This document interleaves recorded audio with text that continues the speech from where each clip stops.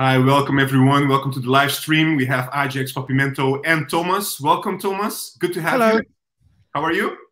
I'm fine. You? Good, good. Uh, season approaching the end. Um, a very, very difficult season, let's put it that way. But we have so much to talk about today, to be honest. A lot of things happening towards the end of the season in terms of recruitment as well and uh, rumors. Um, before we start, quickly, I just want to uh, touch upon a couple of things. I hope people had an opportunity to watch the uh, extra talk that we had this week, part one with Sven Mislintat. Uh, very insightful. I really enjoyed doing that talk with uh, with Ben.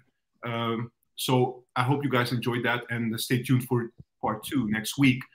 Um, other things that we have to touch upon. Congratulations to Michael Reiziger to becoming the Young Oranje coach. Uh, I hope he really does well, and maybe that will be a start for him to become a good coach later in his career. And the third thing, quickly, uh, tomorrow, most uh, anticipated by some, not everybody, but the away kit. So um, looking forward to that. Uh, we already know how the away kit will look like, but still, uh, it looks like it will be presented tomorrow officially. Welcome to everybody that's joining the live stream. We don't we saw the comments already. I will come towards that in a bit. But first welcome guys. Ajax papimento thomas. Thomas let me start with you. What's on your mind recently? A lot of things happening. What's on your mind recently in terms of uh, what's going on with ajax uh, in terms of news rumors etc okay so um, hello everyone. Uh, and i believe that ajax season has been like like my shirt pretty dark pretty dark uh, so not not too not too much uh, fun stuff, uh, not too much joy, and yeah, let's let's kick it off with a uh, with a sad uh, topic to be honest, because uh, a certain number twenty wants to leave us. he won't extend his contract. I'm talking uh, obviously, and. Um, some people might be curious or might have doubts if mm, if if it is if it is to be understood that he wants to leave, and when it come, if you ask me, uh, it's I, I can't see him learn too much more here. I can see him having uh, like not having too much sentiment towards Ajax, towards Ajax, to be honest, because he's been mistreated, uh, like mm, yeah, benched way too many times, played out of his position, and so on and so on, and he still carried on, uh, and uh, most of the time uh, uh, played very, very well to say the least. Last couple of games, not that great, but still, uh, overall this season, possibly our best outfield player. Uh, I guess one can argue that uh, that is the uh, that is the case here, and um, no extension. I can't see him uh, extending because why would he? To be honest, uh, he's not a youngster anymore. he's a player who who's shown himself during the World Cup. I'm sure there are plenty of clubs who are interested in him. Um, and yeah, um, I, I, feel this is the time for him. Uh, I would love him to stay uh, as an Ajax fan. Uh, I feel like Ajax would benefit a lot uh, from uh, still having him, but I just don't see a point for him um, to stay more. So let's hope we get a, hefty fee for him. Uh, and yeah, let's say goodbye. And uh, I will always, I don't know how about you guys, but I will always have a, feeling of like mm, that his stay was a bit underwhelming considering what he can do and how he's been used and uh, how fit or rather unfit uh, for a number of reasons uh, he stayed. Yeah, so it's going to be a little underwhelming, yeah, a little a little disappointment to be honest, and possibly um, Mo Kudus is the the biggest bad thing uh, about uh, Ten Hag's uh, stay with us. I guess he mistreated him and misused him as, and so on. Uh, so yeah, I'm going to miss Kudus, but I I can see no reason for him to stay. To be honest, like there's no point. What what else can he learn here? Uh, and uh, he's ready. He's, he's he's ready. So he should leave, and uh, he will leave. And I hope we get a lot of money from him. And uh, I wish him all the best. It's a joy to watch him. So I hope he joins a nice club where he plays a lot. Yeah, no, absolutely. Um, Papi, do you share the same uh, sentiment as Thomas in terms of Kudus? Do you think it's understandable that he's leaving already? He doesn't want to extend, basically, because Ajax approached him last month, yeah, in April, to ask for um, whether he wants to extend his contract, and he said he said basically no. Um, what's your feeling about that? Well, look, Ajax doesn't have a choice, right? He doesn't want to do a contract extension, so um, it's it's no choice from our side to keep him. It must be coming from him that he wants to leave. And for me, if I look at his pers- personal development over the years at Ajax, this is the first season where I'm okay. He's a starter at Ajax. He's making uh, the right moves. And the only point I disagree with, with with Thomas is that he cannot learn much at Ajax. I think he can still learn a lot. I think he has the technical capabilities of a world class player, but I think it sometimes lacks in his maybe vision or understanding his surroundings more, or you know, he he downplays the game a lot. So when he starts seeing the options much faster, he will become a, much, a better player. And I think that comes with games. I think he's if if it was up to me, I would give him the advice to stay because this is his first season playing. He had a bad injury at Ajax. He came back from that. He's now reaping the rewards of playing week in, week out. Maybe he will go now to a big team and he will sit on the bench. There goes your development. So, um, yeah, I, I, see him as a 10. I see him, I see a team in Ajax that's still unbalanced and needs a lot of work. He could be one of those leaders in that team that, that carries Ajax to a higher level, you know? So uh, that would be my personal opinion. Yeah, a lot of people commenting also on uh, on the Kudus situation. A little bit of mixed uh, opinions. It's it's a hard one. It's a tough one. Uh, some people are saying he's ready. Some people are saying no, he should stay, like you, Papimento. Uh, Ajax, I'm throwing this one also at you. Uh, Mike, sending you as well his uh, his regards. Uh, where do you stand in terms of the Kudus uh, debate? Uh, quite simple for me. I love Kudus. We all know I'm a, I'm a fan of Kudus, his play, um, the player he is, and the potential he has. But I'm really done with players um, wanting to move on. I understand it. It's your right. You have a contract, and you want to yeah approach something else. You know, you want to do something else. You want to see um, what your limit is, and maybe earn a little bit more. But I'm done with the players that already think that they are, are ready for like the big thing. You know, the big leagues because. Uh, Kudus is one of the best players in our team he wasn't played that much with uh, uh, by Erik ten Hag, and he had a lot of injuries. This season is his first whole season that he played like the majority of the games in one season without absence, you know. And he's not been dominant every game, especially the last weeks. He's not been that dominant as under Schreuder uh, or in the beginning of Heitinga. So if he thinks he's ready, good for him he can move on because his contract is for a certain amount of time. You know, if he doesn't want to extend, it's his fair right to do so. But as a fan, I'm done with all these players thinking that they're already ready for like a big team in the big league. You saw with with with uh, Gravenberch, they had a great plan for him, according to himself, uh, at Bayern München. He doesn't play. He was one of our best players. Uh, although I like Kudus very much and I think he has a lot of potential, but he has to learn a lot still also. Transitional defense, not keeping the ball too long with him, uh, learning to know when he's offside and isn't offside. He isn't done at Ajax yet, but if he thinks he's done, fair play to him, but good riddance then. I'm not going to be sad about it we need to rebuild next season. We need new players, and I do not want to players at our team that do not want to be at our team anymore. Then you can better sell them, use the money, get other players in that are motivated and still want to fight and uh, and and you know um, learn things at our club and be a better player. And I do not want to be stuck with players that do not have the heart to play for Ajax anymore and do want to do the next thing. You know, then better to move on. Uh, that's my two two cents, man. Yeah, Thomas, you want to react? You grabbed your uh, microphone very, well, very harsh like this. no, no, I'm just always uh, attacking minded. Uh, but in all seriousness, um, yeah, I, I, I get you what, what, you're saying, guys. But I don't think uh, the things that uh, that Kudus lacks, like for for example, you know, holding the the offside line, for example, uh, which is yeah his his biggest con I don't think he, he has much to learn more uh, at Ajax, which he cannot uh, learn uh, at other club at, a uh, higher level. Uh, I'm not saying he's ready for you know I don't know Manchester City for example, but but I I don't know Dortmund transfer for example would make perfect sense. I guess uh, for for that level of transition he's ready already.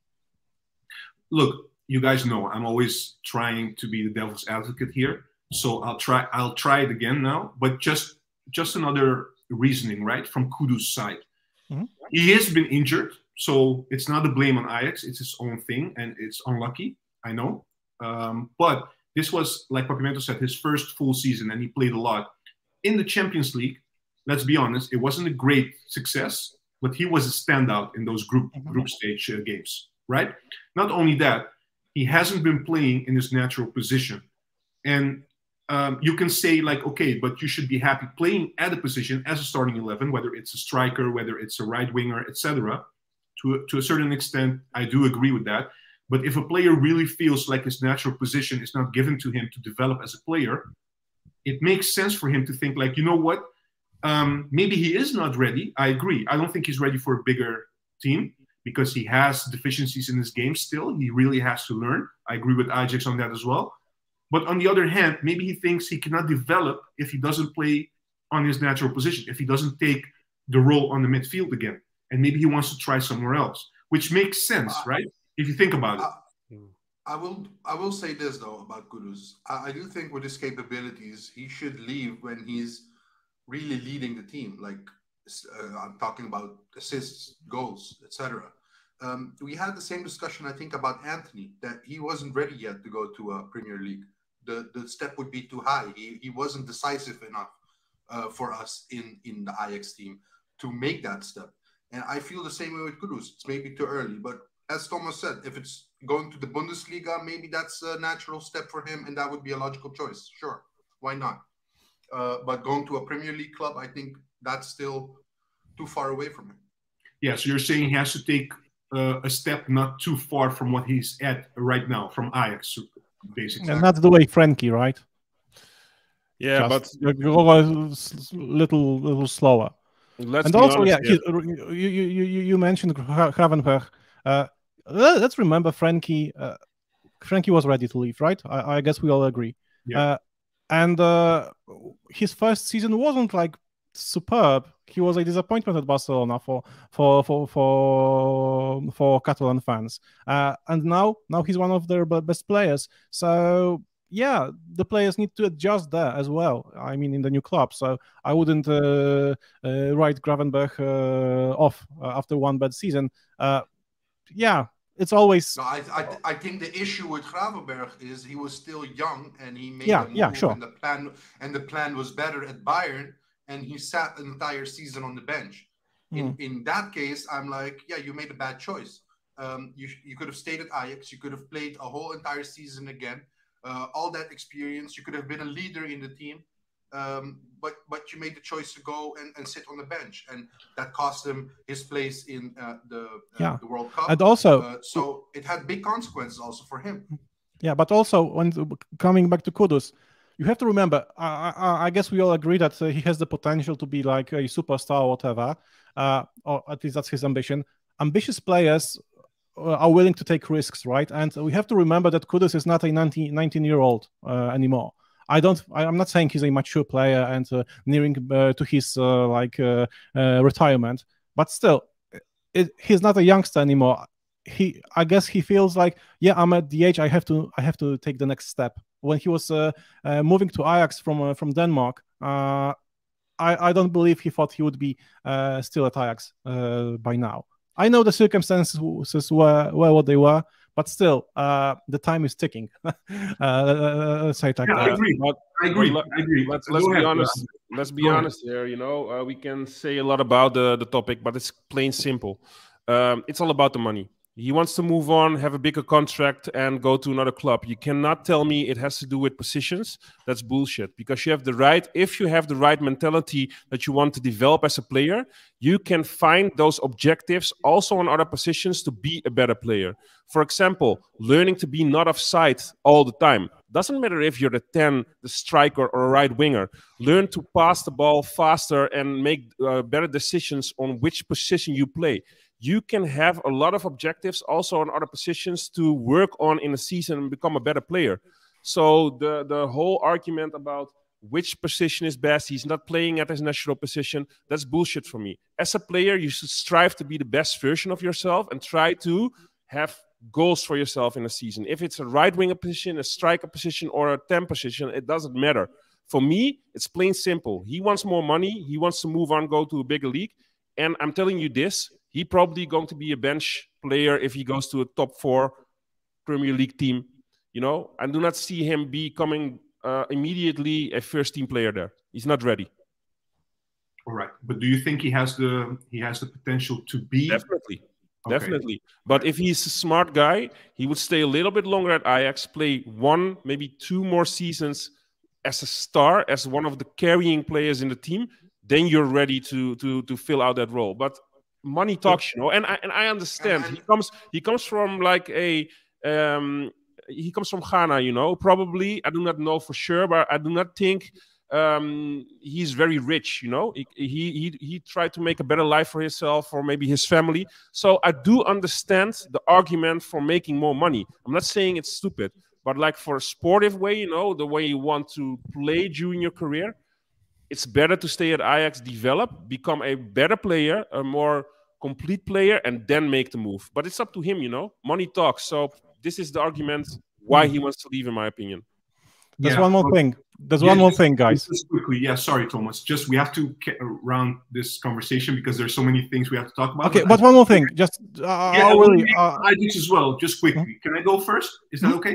Yeah. yeah. You're the um, host, man. Go ahead. Ajax, I just want to say, um, it's it probably money has to do with it, right? Uh, it's very hard to know, but I would not go all in on that argument. And the reason for this being twofold. First of all, and again, I'm not defending him, uh, I'm just coming up with other arguments. When he came from Denmark, he had options to go to bigger leagues. He could have earned more money, but he chose to go to Ajax for a specific purpose. So, so the money argument um, maybe now it's more valid. It's it, it can be, but it's not his primary objective because otherwise he wouldn't come to Ajax at, at yeah, the start. I, I agree with that. I, I, agree. Sorry, go the ahead. second point, just quickly on the second point as well. Um, something we're not we're not taking into account as well. Look, it has been a disastrous season. Yes. Uh, I mean, even disastrous, we can still go over PSV, but we will touch upon that later. Um, but having said that, we had Schreuder, uh, and now we had Heitinga, and we don't know who the coach is going to be next season. So as a player, and even Heitinga said that last month in an interview, that the players want to know what's happening. They want to have clarity. And a player is not going to risk another season like Kudus, not going to risk another season. He hasn't been a starter for the last few years. And now he has been playing, but not on his natural position. Maybe if he stays, next year will be bench again. It's a non. The second one is a non-argument for me because you will never know how a new coach and a new team will play you or bench you. Look at Gravenberch. So that is the case in every team. If we have a new coach or you go to a new team that has a plan with you, you go play under a new coach. You have to prove yourself. You never know how it unfolds. So as a player, you just have to cope with that each and every season. It's part of being a professional football player. I don't believe you can say it's a non-argument because yeah, it, it is, is, an argument. You don't know what to expect. You don't know who's yeah, going to be. Yeah, but you never know what to expect as a player. You no, never know what to expect. You no, have to be mentally ready and fight for your place and be ready every and each time to fight for that first 11 spot. So that that doesn't change. The first one, that first that first one is for me. I understand your reasoning, but I believe firmly that Kudus as a youngster the money he got offered for a bigger league uh, compared to maybe the money Ajax offered wasn't maybe that big um, big yeah difference, you know. But now, as a more an established player at Ajax that has proven himself, especially this season and maybe partly the seasons before, you are more in the picture now. You're not coming from Denmark, you're coming from Ajax, one of the greatest academies in the world, you know? So you will be offered more money by the bigger teams, and the gap between what Ajax offered to him as a youngster compared to maybe a, a little bit of a better league is now way bigger than back then. So, yes, he made a sensible choice in the beginning of his career, but he would be smart continuing making sensible choices also now. He is still young. The best mm. for his career is staying at Ajax the best for his money is going abroad. Okay, and and what if he just just the last thing I want to say the the Gravenberch um, comparison is a little bit different. If you go to Bayern Munich, that's basically you're you're arriving at the station. When you're at Ajax, you're not arriving at the station. You're you're basically developing yourself to arrive at the bigger league at the bigger club. So in that sense, but but but but, but Juan, in all honesty, I do understand name what you're saying. Name me, name me one player. Name me one player, and I'm talking about established players that moved on uh, besides Frenkie and besides Matthijs de Ligt, name uh, one other player that has made it in another league. Ziyech failed because he wasn't played. Donny van der Beek had a lot of injuries. Lisandro. He failed. Okay, maybe Lisandro Martinez. That's a, that's a good one, but but he was already maybe more of a finished product than that Kudus is.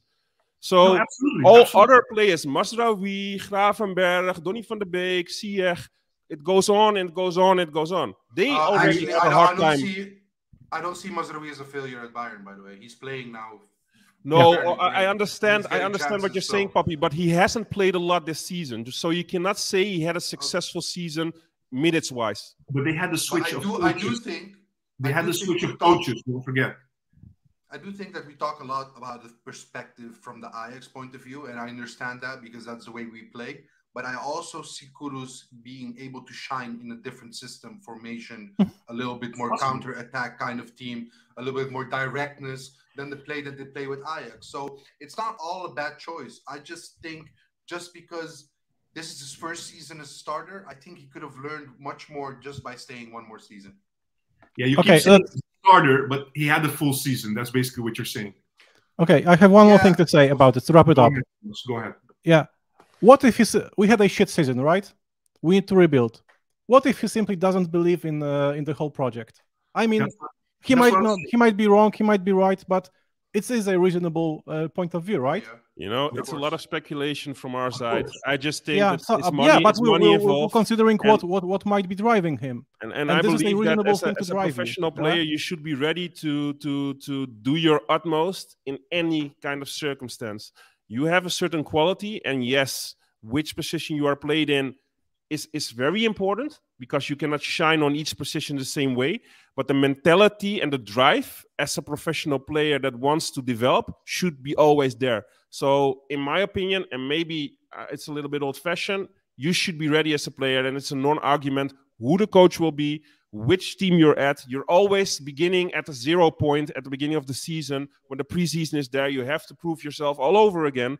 Okay, maybe a certain established player that is there at the club for like three or four years already that has like a guaranteed starting spot. But everybody has to prove themselves every single time. So that's no different than another club.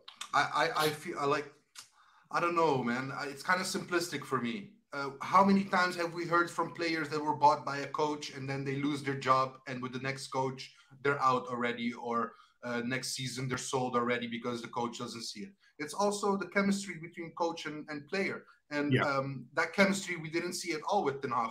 So now that he's having that with Heitinga, you would think that he would consider a little bit more of staying because he's getting much more chances than he, he used to get. All right. I, I think, guys, we covered basically all angles on the Yeah, Kudus let's move on. case. Uh, yeah, we have to move on. Uh, Ajax, uh, let me give you um, the same question that I had for Thomas. Uh, something else than Kudus. So, any other recent news, recent developments you want to um, touch upon? Yeah, I think it's nice that uh, a lot of uh, youth products, um, you know, got in the news lately that they are probably going to extend their contracts. Uh, uh, for example, Vos, uh, Setford, uh, Misehouy, uh, you know, a lot of uh, great products in the youth academy that actually sign a new contract or are about to sign a new contract. Same with, of course, Amourricho uh, that signed a new contract recently. I think that is a good thing. I do not know if it's Sven doing this, but if he is doing that, that's a proper job. Uh, so uh, those things um, I like because under the helm of Overmars, uh, a lot of times there were certain uh, youth products that contract-wise weren't always in the best situation for Ajax standpoint.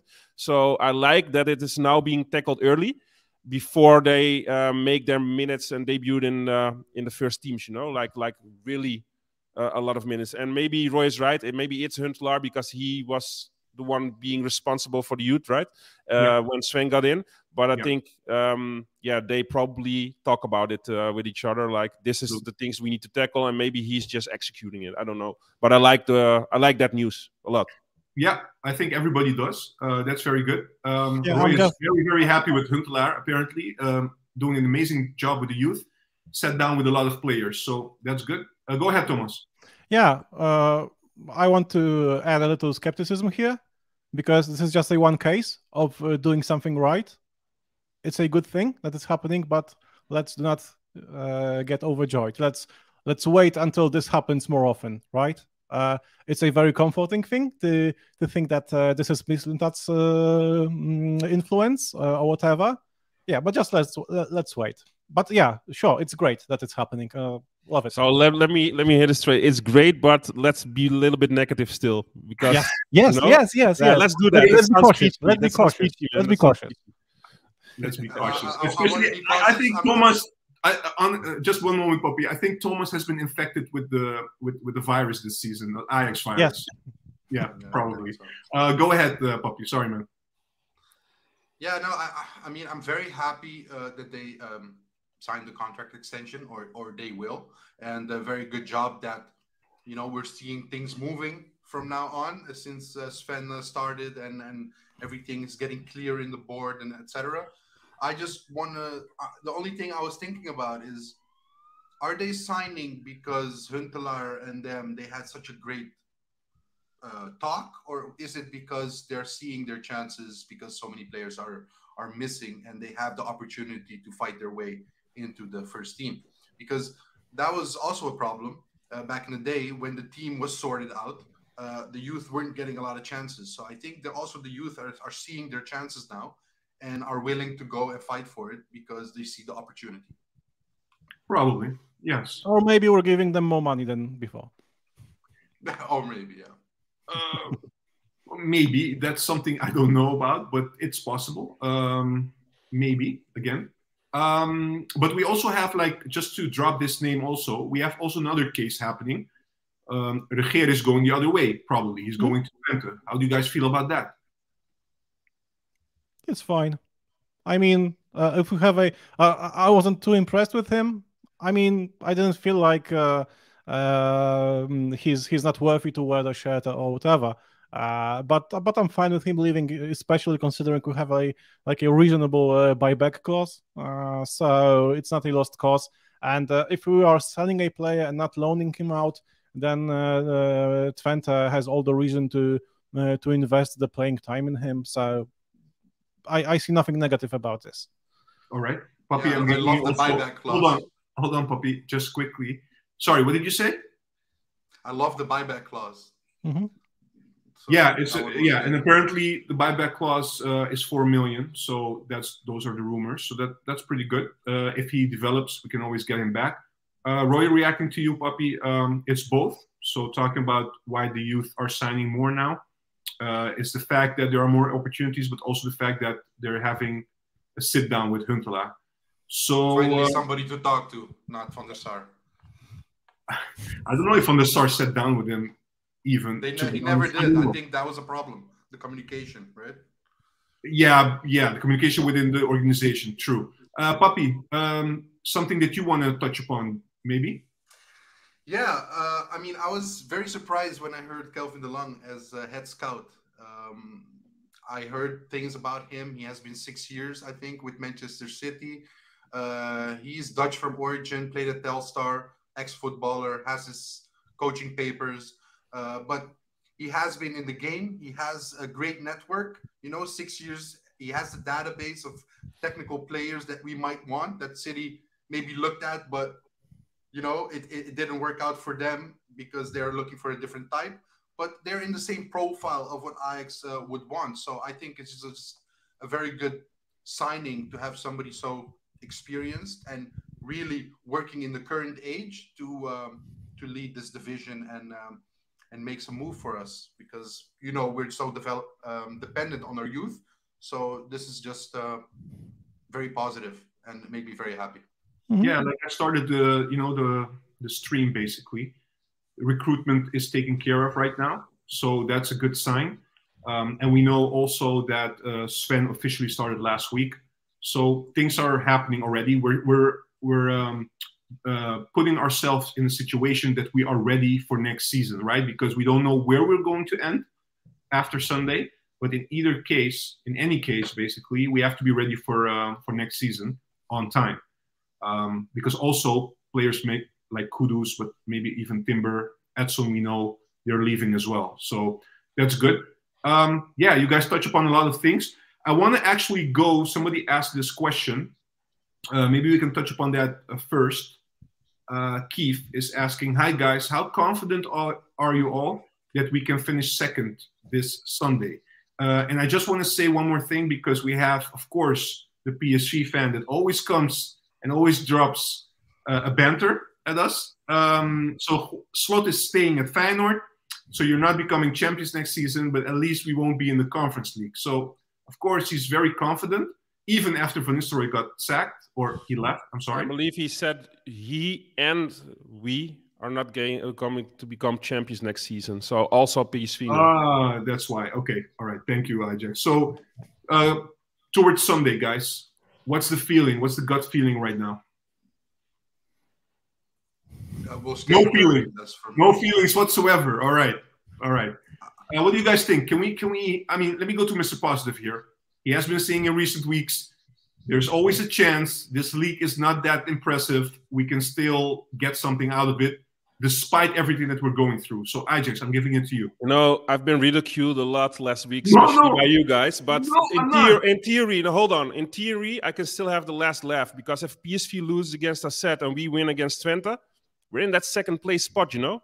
So, um, I'm not saying we're going to make it, but I think it's still a great chance. AZ still has a lot to fight for.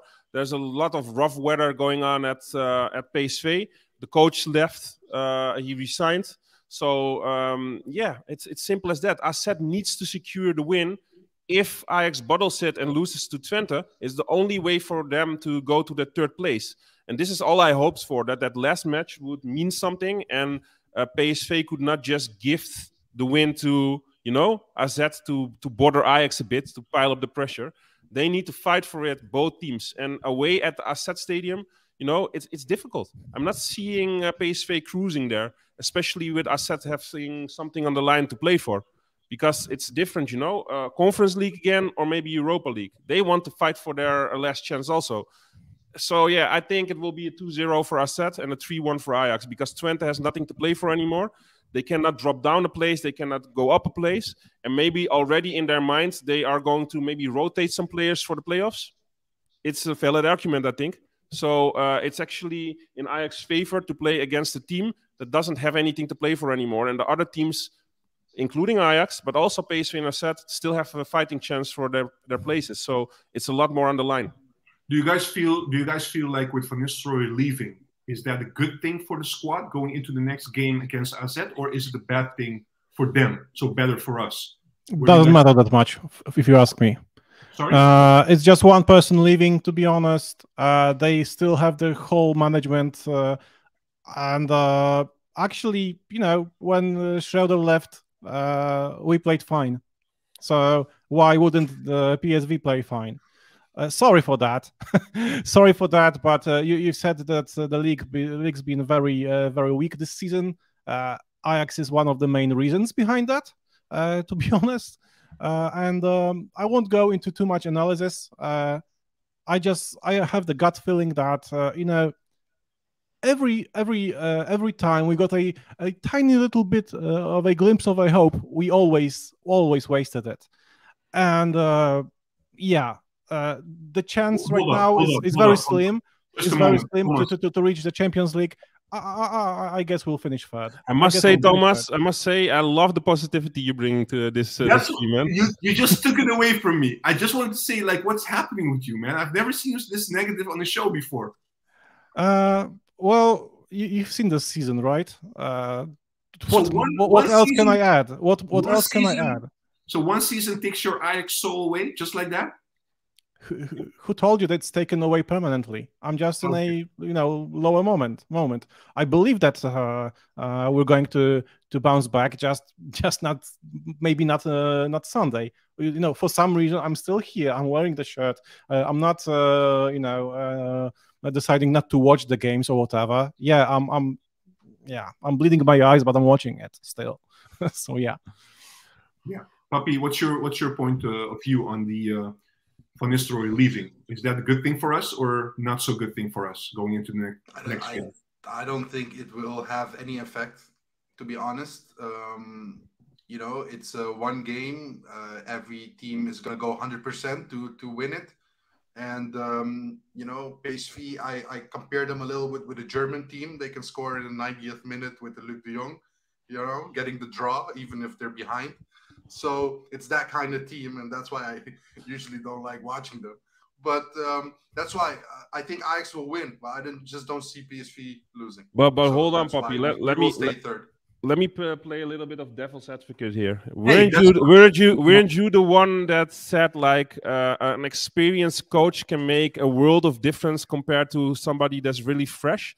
So let me get this straight. You know, Ruud van Nistelrooy is just an inexperienced coach, but the one taking over, Fred Rutten, he's very experienced and he will be at the helm of of, of the team uh, coming match. And now you're saying that won't make any difference? Uh, did I get that right? Or In a positive meaning for us. I, I don't think he this coach needs to motivate these players for this game because if that's the case, they're not professional athletes. So uh, it, it's going for Champions League or Europa League, and uh, I think everybody knows what they have to do on Sunday. So uh, i- there's no motivation needed from the coach, or else there's really something seriously wrong in that group.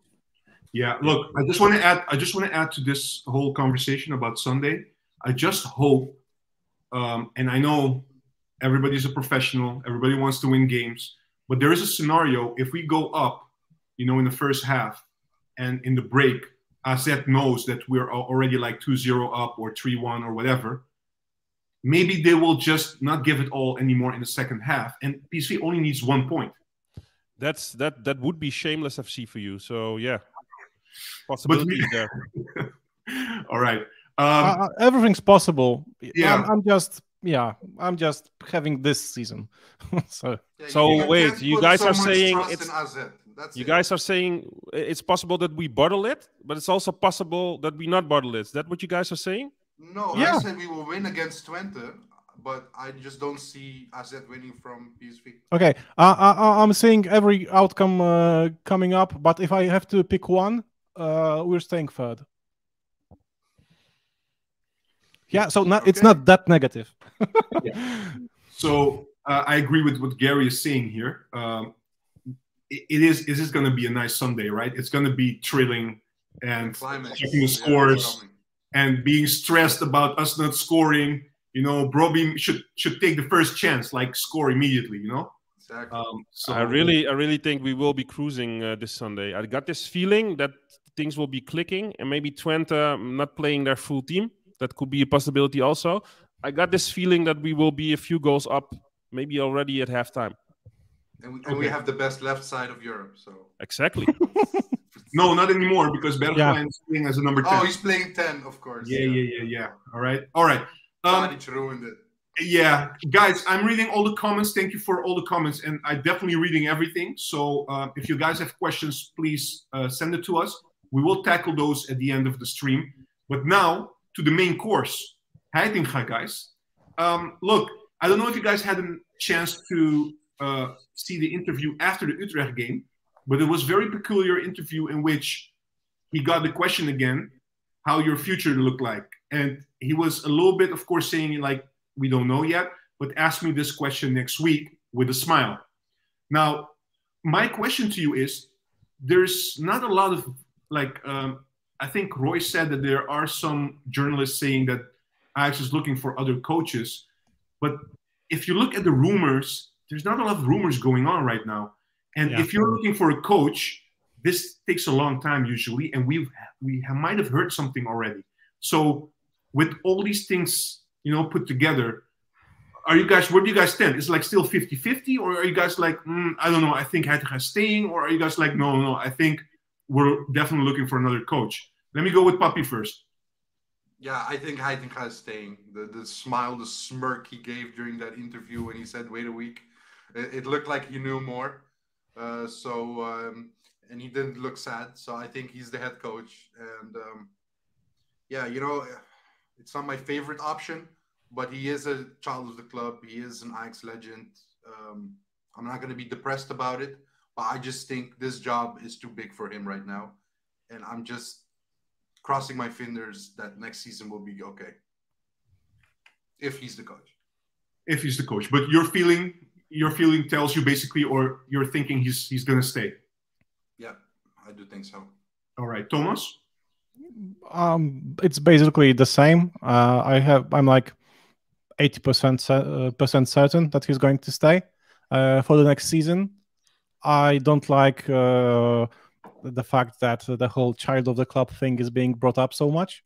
I mean, I have the same feelings for Heitinga, do not get me wrong, but uh, the uh, the sole fact that somebody's uh, it, it's not that important. I mean, we're Ajax for for fuck's sake, so I guess quality should go first, and uh, uh, has is not there yet. Uh, so yeah, it's a nice nice bonus if if someone's a part of the club's culture or whatever. Uh, but uh, but anyways, regardless, the question is uh, whether or not I think Heitinga will stay. I think he will stay, and I'm not over the moon uh, regarding that. But okay, it is what it is. Can you get topics next time that he make he will be positive? Like, uh, I will consult. I will consult before uh, next time because this is not going the right direction. No joke. Um, Thomas can say whatever he wants. It's a talking point at least, right? Ajax, um, do you agree with Papi, with Thomas, or do you see it differently? No, man, it's 50 50. And um, let's be honest, when Sven uh, got interviewed, he said um, Heitinga was in pole position. Uh, now I hear rumors that um, they are looking for another coach. At least he is exploring the options. I've heard that in the media. Um, so maybe only a second place for Heitinga can secure um, his his role next season a little bit more. But I'm not feeling that confident that they already made a decision. I do think that um, it's logical that you do not hear any names that we just touched upon earlier when you asked the question. You know, you do not hear any rumors about other coaches. It's it's it's logical. We're still fighting for that second place. You do not want to create any more havoc within a team or within the organization that is already there. So if there are rumors and if there are names, they will come up after the season's done. But for Heitinga, if he secures that second place spot, he's done well then.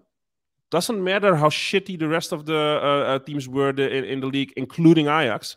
He was in fifth, I believe, or in fourth with eight points behind the number one. Yeah, yeah, if he yeah. secures that second place spot, he has done well, and you cannot say anything about it. So that will make his case, in my opinion. If he secures that second place spot, it may be difficult for them to surpass him as the next manager for next season because the guy did well statistically. Second place, Champions League. Yeah, doesn't matter how he got it, he has it. Yeah, but statistically, you're looking at the second place. That's yeah. fine. What about the fact that we haven't won against a big team in the Eredivisie? Yeah, but uh, one can argue about this. Schreuder had a preseason. Schreuder had a say in what players he wanted to get in.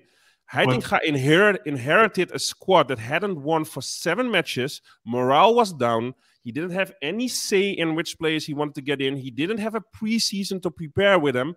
He just had to salvage whatever he could with this team. I'm not saying I want Heitinga to stay. I'm just stating the facts. He won his first seven or maybe eight games. Yes, he didn't won any big, big games. Maybe the semifinal against Feyenoord in the cup. That's about it. You know? So, yeah. yes, there are pros and cons, but the situation of Schreuder and Heitinga are totally different. So I can see them going for Heitinga. I'm not saying I'm a fan. I'm, i do not say that I think it's the best option, but I think these are the things that I, they are taking into consideration. And a lot will have to do if they finish second or stay in third or maybe even drop to fourth place. Let me alter. Let me alter uh, the points that you're making slightly and uh, give it back to you, uh, Ajax. Mm-hmm. Um, you said it makes sense to a certain extent that there are no rumors because everything will be fixed after the last game, right? So, do you also agree with the fact that there is no uh, clarity on the fact who's going to become yeah. the coach. Also yeah. towards Heitinga. Do you think and, Heitinga really doesn't know what's coming after I'm, 20? I'm telling you this. My feeling is more 75% that we go for another coach and 25% that we stay with. And I will explain to you why.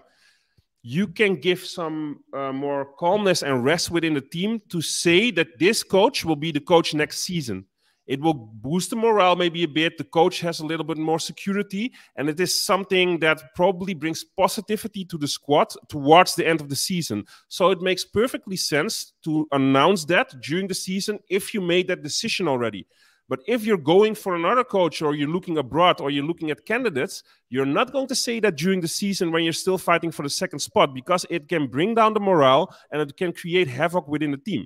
So if you look at it from a logical standpoint, if Heitinga would be the coach next season, it would make perfectly sense to already give that decision during this season, but they didn't. And why didn't they do that? Or they are not convinced about him. They want to see what his end position in the league will be. Or, big chance, they are talking with other candidates, keeping it under the radar, and will talk to the media and to the fans after the season. So for me, it's actually the opposite that the other panels are saying. My feeling is 75% maybe another coach, 25% at this moment Heitinga. But that percentage can flip if Heitinga secures the second place spot this weekend. So one game will make yeah, of course, man. It okay. makes a big case for him. Uh, uh, stand in the uh, uh, be Heitinga for a moment. If you're going in at the at the end of January, things are shitty.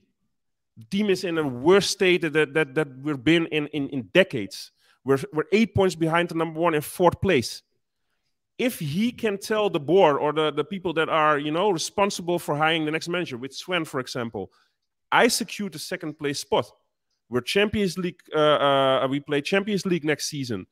It's a great case that he can make for himself, especially not being able to have a preseason, not bringing any players in. He salvaged that with a team that has a with, with a with a with a bad morale at that moment.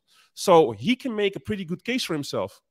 Okay, I would say I would say though the only thing I would say I totally agree with you, but you can also look at at, at a different side. He was fifth when he took over yeah, but we were still in yeah, we were still in range to become first. And now if you look at the standings, I think we're double digits behind Feyenoord. I know, and I agree, it's shit. But I've been saying it the whole season, the whole league has been poor. True. But it doesn't oh, matter, man. When, when Feyenoord hear... has been champ is is are champions now. They have the most uh, the, the the best coach in the league, in my opinion. You know, if he secures that second place spot, it's a job well done. Doesn't matter if he won the big games or not. I'm not saying that I'm confident that he is the right man for the job. I'm just saying mission accomplished. Understood. Understood. Okay, go ahead, Papi. You wanted to say something, and then Thomas can react as well. Yeah, I, I just read like the messages coming also on my Twitter, and then you read Heitinga is already busy with things for next season. So when you hear things like that, and not only you're not that, gonna leave every, you're not going to leave everything, your the whole decision based on the last game of the season. And not only that, not, not only that, not only that, we tweeted also like a week ago how much how much weight do the players have also uh, as a say into Heitinga? Because everything you're reading right now, all the players are happy with Heitinga are happy. Are happy. Yeah. Are happy. But but let's be honest here. Like I said before, I'm not saying Papi is saying it doesn't matter what happens in the last game. My feeling is Heitinga isn't in pole position. I'm saying if he secures that second place spot, things might things might turn around in his favor. So okay. it does have a lot to do what happens on the last day. Because my feeling is he's not in pole position anymore. And the, securing that second place can make a strong case for him to be in pole position anymore. And they cannot maybe surpass him if he secures second. That's what I'm saying. So don't get it wrong. Clear. That would be terrible. Go ahead. I'm saying it's already decided. So I don't think that whole last match does anything. I think he's going to be the coach. So okay, Thomas. Yeah. So first of all, uh, so uh, Ajax suggesting that uh, the fact that uh, we're not hearing any names and so on, you're suggesting that uh, Ajax is behaving in a very uh, professional manner. Uh, I guess we're not used to this uh, recently. Yeah, we're not used to the club doing things in, a, in right. We're, we're, just screwing up everything um, lately. So I never, I never would have thought that we're just doing a good job by, by not making things uh, public. But uh, sorry, but what thing. did what did I do with Ten Hag last season then? Please, please, uh, please touch upon and and and uh, give me the insight. What did I do with Ten Hag last season with the announcement about being oh, but, but United? That's that's uh, that's that's a different story actually uh, i guess because uh, we knew uh, that we're going to find a uh, new manager we we always knew that he's going to leave uh, i mean ten hag and uh, and actually it's quite the opposite it, it, it means that uh, we weren't able to find a proper manager uh, no but i'm on. saying you're saying the club is not doing things right and uh, you will no no no it, the, the, club wasn't possibly i don't know but because last season they last season they waited after the cup final when we, come, we become champions to announce that Ten Hag would go officially to Manchester United. And before that, they refrained from any official messages. Of course, there were rumors. So yeah. it's quite it's and, quite and similar. It's quite similar than this situation, but it's the other way around. It's now about the coaching position at Ajax and not the coach leaving. But they did quite a similar thing last season, if you remember correctly.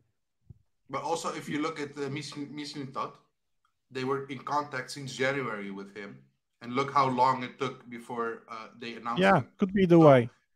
You know, it, it, it takes a long time for these things to to materialize. Yeah. So yeah, yeah. exactly. It's not only that, we're gonna... stock market also, and those things also influence those, you know, public messages. Statements. Well, anyways, yeah. anyways, uh, going back to Heitinga and the last game being a uh, deciding factor, whatever. I really hope that's not the case because uh, you know being so much uh, result focused. Yeah, let's hire Mourinho. Let let's screw the whole philosophy. Let's let's just yeah, let's go that way. Uh, I, I, I very much. Um, I, am not saying you're happy with that, Ajax. Don't get me wrong. Yeah, uh, I guess your uh, that's your predictions on, on on what might be the thought process of the board, right? Uh, I really hope it's not true. Uh, I really hope that the decision is already made uh, because I firmly believe it should have been uh, made already, whatever the decision is, uh, because uh, you know uh, it's just a single game. Uh, a, a, lot of random things can happen. It's it's you, you need to judge the whole process. And uh, yeah, I think I won eight games in a row after we lost seven games. But you can make an argument that his uh, his idea to surprise uh, our opposition only can last for eight uh, eight games, and after that, everyone knows what we're playing, and uh, yeah, he's only capable to uh, to do fine for for that shot. I guess you can make that argument, right? Uh, so also, I don't know, maybe we weren't in a top top physical moment and he just squeezed the squad uh, like a like a lemon, right, uh, for eight games, and after that we're depleted, and uh, this is why uh, a number of uh, um, lesser uh, results came around. So yeah, um... I have a question by the way for you guys, coming from Jerry. thank you for the question. What do you guys think that Heitinga's biggest con is to stay as a head coach, and can that be solved in a different way with a good assistant, maybe? Any any thoughts on that? Yeah, maybe. Uh, what he's uh, doing, I mean, what he's doing with the youth is pretty great. Introducing youth into the team. Yeah, he's uh, he's asking for cons. for yeah, so, so yeah, cons, not pros. Yeah, so he's saying what is his what is his like um, things he has to develop, and can that be solved by having a good assistant next to him? Would that solve the issue for now? Uh, for me, um, seeing how he's um, behaving uh, at the bench, also at the Utrecht game, as a coach, you should, you know, have a certain class and uh, show a certain mentality towards the team. You did not see a lot of those things that he was like, oh, another miss, and oh, you know, he was very disappointed all the time with his behavior against that Utrecht uh, game last Sunday. You didn't see that with Ten Hag a lot. He stayed more calm, you know. And I think to watch your team, you should always have a calm presence. Everything will be all right. You can see that he's still a bit a rookie in that area. Maybe still a little bit more too much of a player kind of mentality than a coach. And also for me, I like the way what Papi says, um, bringing in youth products, but he also doesn't make the rough decision like Schreuder did. Why isn't besides him not being available, why isn't Conceição playing more?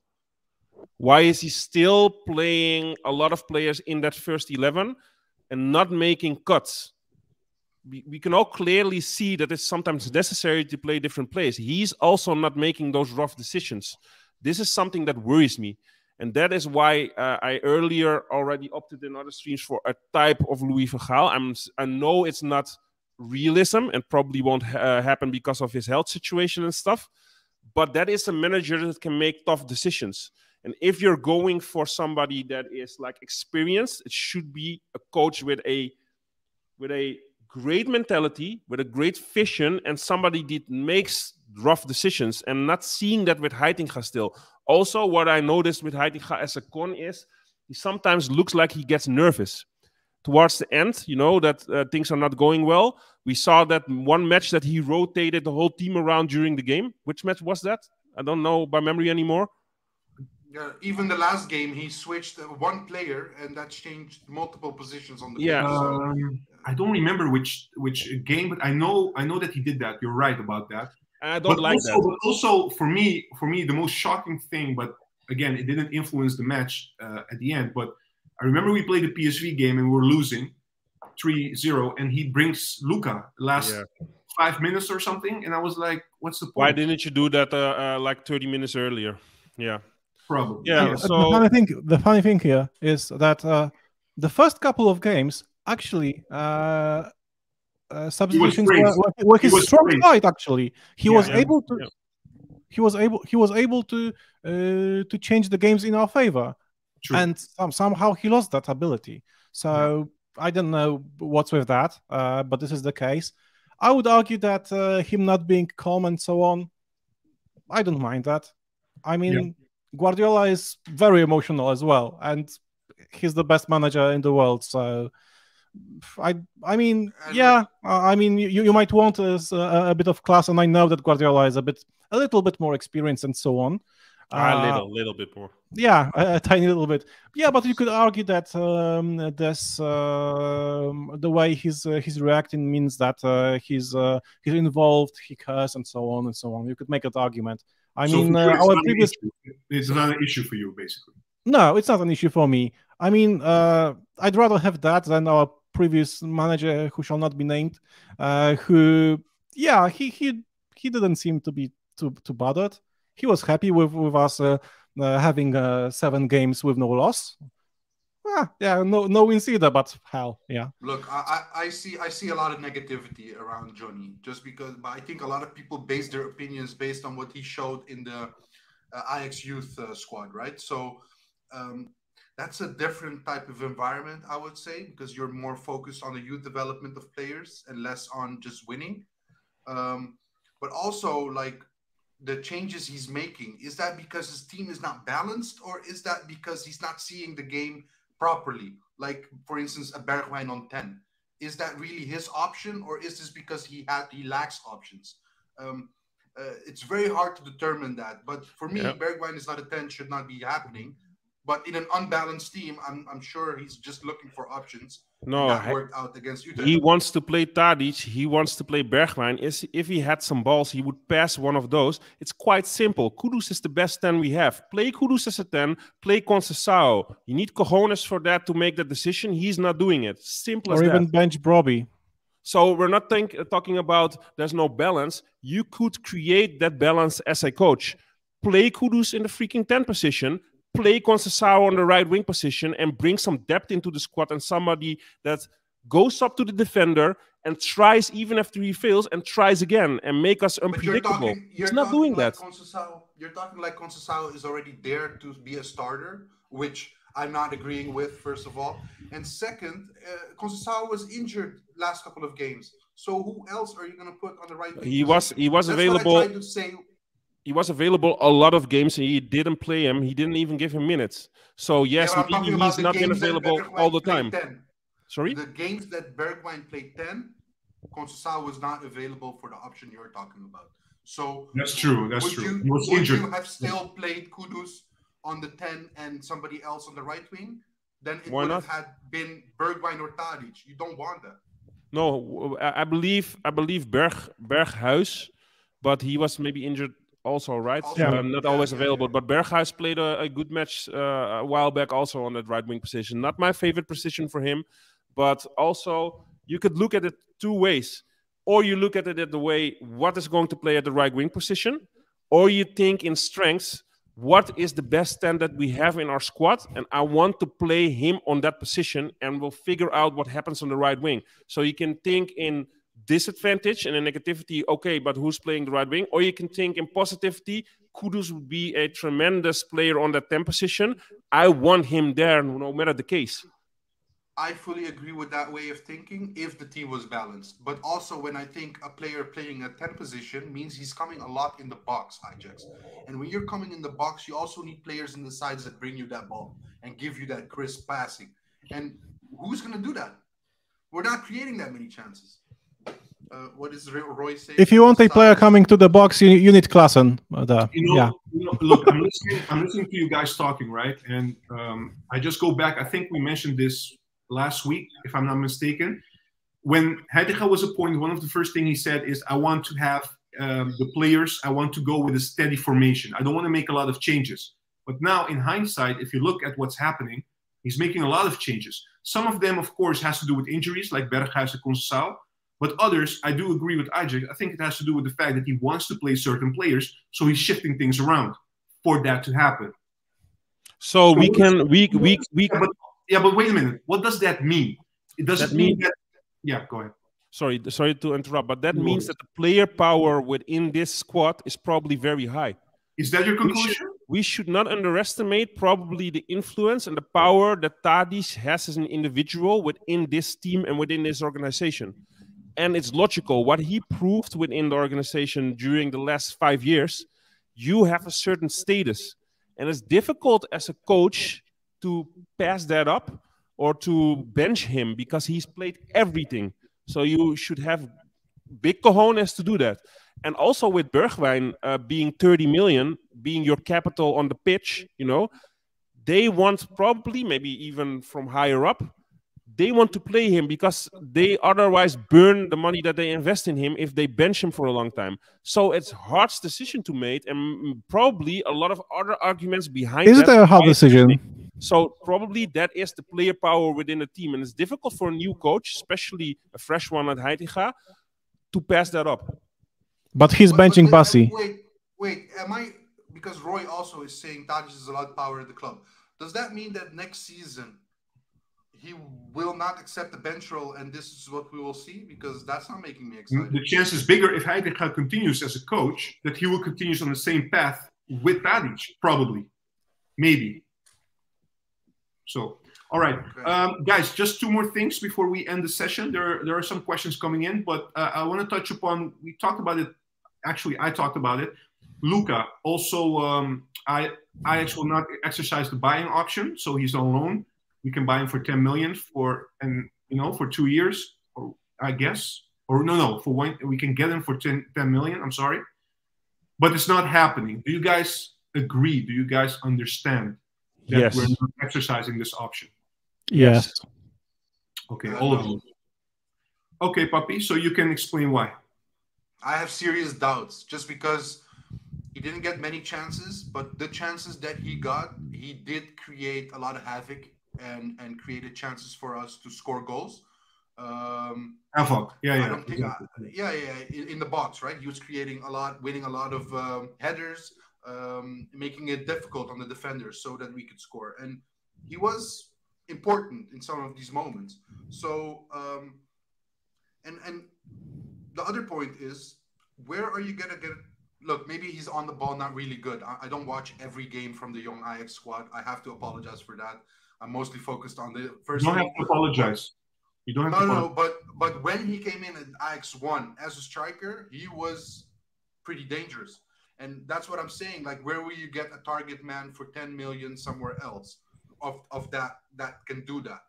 So no. that's the only point I have in which I'm like, okay, 10 million might sound steep, but will you find somebody that is creating that much havoc in the box. Yeah. Do we want else. to create yeah. havoc? Do we want yeah. to rely on chaos? There, there will you be. Do have Ajax does need a plan B, and that's always been the case. We've always relied on plan A, but there's no always never a plan B for uh, um, for us to nick the win in the I, end. I, I can uh, tell you this. I can tell you this. Even I, with my posture, will create more havoc than than than than Lucca does within the box. I must say he did better.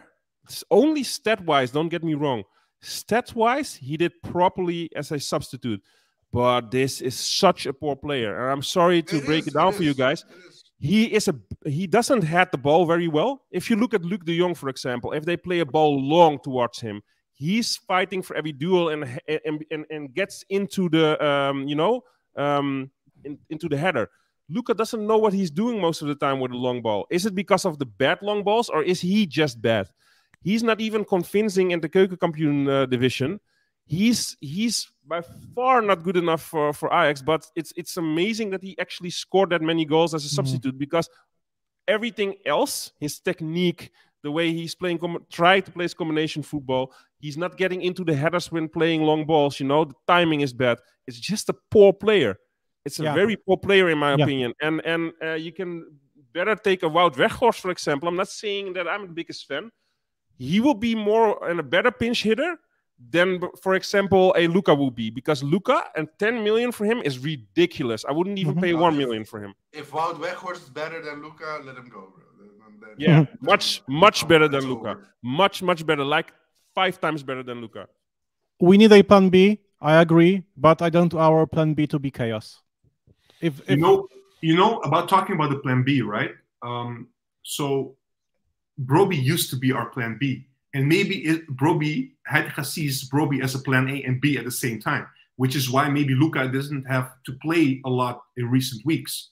You know, because he's looking at the bench and he's like, he's like, you know, Bro, Brobbey is able now to play 90 minutes.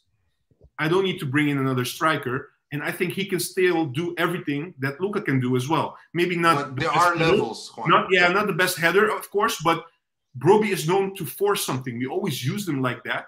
Now he's our primary striker, but he's able to do both.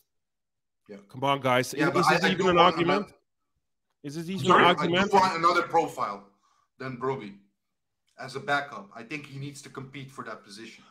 Let's- but- yeah, but seen- not with Lucca. Yeah. No, what I'm saying is No, no, even not with Ten specifically with Lucca, no. No, but what I'm saying is even with Ten Hag, Ten Hag would use Brobbey as somebody to force something towards the end, you know. So he has he can do that as well. Come on, guys. It- it- this isn't an argument. Lucca is so far off from the standard that we need, even as a plan B, C, D, E, whatever you want for Ajax standards.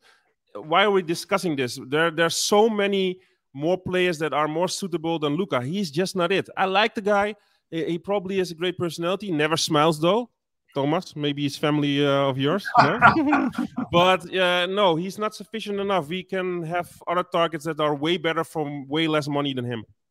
Just yeah, get, on to the next even even try to The get Lorenzo Dolberg, Lucca. Dolberg back. But I think I, I think we wanted also to say that you know a Zlatan type wouldn't be so bad as a, a target man in this team. That's very Oh, man, generous did you just but mention okay. like Lucca and Zlatan in the same sentence? No, no, no, no. I'm I'm off the Lucca subject. We all Okay, cool. discussed it. Okay. It's not good enough, but I do want a plan B. I do want Mhm. a target man. I do want somebody that can hold. Okay, the ball but hold on. You still think you still Brobbey. think that Wout Weghorst is worse than Lucca is? I, I, I- what did he score in the Premier League? Nothing. So. No, but come on, come on, How Weghorst, many come on. chances that, uh, bro, Sometimes you crack me he up so much. Seriously, He wow. works hard, wow. but he didn't score much. No, so- but he scored against Argentina as a target man. Two goals kept us in the running until the penalty shootout in the semi-final of a World Cup. Did Lucca do And that? then, and then he fought with Messi. So it- I It's don't care. his Did fault, Lucca it's- do that? Ah. Yeah, but uh, Papi, Yeah. remember remember Weghorst is playing as a 10 uh, for Ten Hag for some yeah, yeah, reason. yeah, I know. I know. So- No, but they tried him also as a striker, but it didn't work out. Yeah. All right. Uh, I think this is the end, guys. Uh, it was heated today. A lot of heated debates, but that's nice. Um, I would like Can to we touch thank- one point more? I'm sorry. Can we touch one more point? No. Uh, yes. Uh, One yes. more If point. makes you- if it makes you smile, yes. And if you keep it, yeah, briefly, it's going to be briefly. a angry smile, but fine. uh, yeah, because uh, there's been a, a lot of discussion that uh, we don't have enough quality, uh, that it's not uh, it's not uh, Schreuder's fault that uh, the squad looks the way it does. Uh, Juan, you know what where I'm getting to.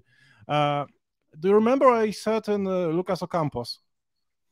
Uh, Yeah. I, I guess you, I guess you do. Uh, you, you you've seen Sevilla uh, lately. Uh, he's been one of their most important players, uh, reaching the uh, Europa League uh, final. So he's a decent player after all, right? Uh, yeah. Is he or is he not? He is. No, I'm reacting. What, I'm what, what, reacting what is to, the what is I'm the what is the point? What is the what is the Uh, point? you the, the, the point Yeah. is uh, the point is that uh, we have a, we have uh, we have a good enough squad to have achieved way more this season. It's not a matter of qual- But- of the quality of the quality of our players, which has been brought up so many times, and I'm always like, you know, I'm, I'm already getting bold, but I, I want to, you know, make the, the whole process faster. So you're Uh, using you're using Ocampos basically as a case, as an example. To Well, I, I know I know I know that uh, it was a like a special case because I don't know he didn't along w- g- get along with the whole squad. He wasn't up for it or whatever. Uh, his attitude, but uh, mm, yeah, but it's yeah yeah he was a mismatch. But it shows that we, we I don't know maybe uh, the whole squad is a one huge mismatch uh, because the quality is there. We have quality players. It's just a matter I don't know of the manager of uh, of two managers of not uh, being able to uh, to get the squad uh, mentally up for it. I don't know. Uh, I'm just I just wanted to say, yeah, Schreuder was the was the biggest mismatch. Uh, I don't like bringing up his name at all, actually. Uh, uh, like I've said Okay, uh, a lot of times. We understand. We understand what you're saying. And if you look at Campos playing at Sevilla right now, although they play a little bit different, of course, Hmm. he's not that bad as what we thought he would. Uh, No, but basically, let's be honest, Juan. Nobody said that they think they that he's a bad player. I believe that he spoke the truth and that he was mistreated at Ajax. I believe Yeah. it's shame if if things happened like he said it did. It's shameless from our side because that that's not a way to you know handle a player coming in. But uh, this isn't even an argument for me. Sevilla and Ajax are so much apart playing playing wise and playing style wise. Yeah. Why is this Um, even a comparison? Because Sevilla knows his strength. He's been there for a long time before moving to Ajax. He knows how the team plays. He already gelled in there. He's not a new kid coming in. He's been there for years. Sevilla's playing style is totally different from Ajax playing style. So it doesn't even surprise no, me. no, no, no. There is well a point here. There is a point here because uh, where, where I'm going to is uh, we misused him, right? We have proper quality players, no, no, no. but we We cannot. didn't, no, no, no. We didn't misuse him. We didn't, Didn't use him at all. Yeah. Yeah, so we used him for for not playing. Yeah, whatever. You you know what I mean. Yeah. I, I, we- I totally disagree with we have enough quality. We have maybe enough quality. No, we don't have enough quality. system. We don't have enough quality for what uh, what our ambitions are because we never were good enough to to I don't know Uh, progress through the I, Champions am League just, I'm just wondering, Tomasz. Maybe I'm not understanding what you try to say, but I'm missing still the point that you want to make because I, I- maybe I'm missing the content context that you want to bring No, in. But uh, what is exactly the point that you want to make now? Because I, I do not the point I want to make the point I want to make is uh, the overall quality of our players is not the biggest. Uh, I I believe is not the biggest issue we've had this season. Right? You're using look. You're using Ocampos basically as an example. Yeah. But it also applies to other players. Yeah, We the of a scapegoat, right? We have been very critical of players, although I have to say EyeJax recently started the conversation saying it's not only a quality issue, it's only also a mental issue. But coming back to Tomasz, Tomasz, if I understand correctly, what you're saying is we have been disastrous this season, but I feel with this squad, with this with these players, this is not their level. We have underperformed. This is what you're saying. Yes, yes, yes, yes. Sorry, uh, the the whole negativity like uh, disallow Oh, sorry, but but hold took on. away I'm my not- ability to to, to I, I, am not yeah, make waiting. myself this clear. six, I want not. I'm not going to wait this six, seven more minutes before you made this point without you smiling at the end, bro. You promised something. He smiled. He smiled. I Just- am again, smiling. man. Again, please. Uh, yeah, when- when- I'll, I'll leave you. I'll smile, leave you with please. a Ball base positive smile. thing. Uh, yeah, it won't get any worse next season because it's impossible. Uh, that's one positive thing, and uh, yeah, w- Never say it's, never. we're we're all going to die anyway, so it doesn't matter. Okay, we. No, okay, no, I'm sorry on no, behalf of no, Tomasz because uh, Oh. it's getting very dark in here. But I think we should wrap it up because uh, this I'm is not smiling, going the I'm right way. That's that's probably that's probably what the viewers want to hear going into the Sunday game. Thank you. We're all going to die. Um, Yes. Thank you so much. Papi, thank you so much. Uh, our viewers, everybody watching, give us a like if you enjoyed the video. Uh, we'll be back Good on luck on Sunday. Sunday, with the everyone. Uh, I'm sorry. Good luck on Sunday, everyone. Yeah. Good luck on Sunday, everyone. Fingers And, crossed, uh, I'm wrong. Yeah, I really want to be wrong. I really do.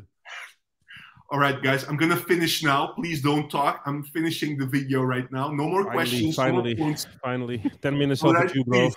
All right. See you guys. Uh, enjoy the weekend, and let's hope for the best result on Sunday. Bye, guys.